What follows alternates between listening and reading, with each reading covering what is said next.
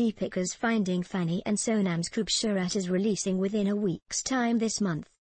In the mega clash of Om Shanti Om and Sawariya in 2007, debutant Deepika Padukone had emerged a clear box office winner against first-timer Sonam Kapoor. Seven years later, the question is, will Deepika continue to remain a step ahead on the success ladder with Finding Fanny or will Sonam take a lead this time with Khoobsurat? Both the films are releasing within a week's time this month.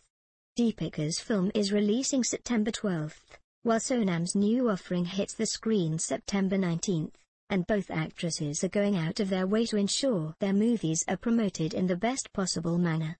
Finding Fanny, an English-language entertainer by Indian filmmaker Homi Adajania, is definitely not a film that every actress will risk, especially after delivering four back-to-back Bollywood hits Race 2, Ye Jawani Hai Deewani, Chennai Express and Goliyon Ki Raasleela Ram. But Deepika took it.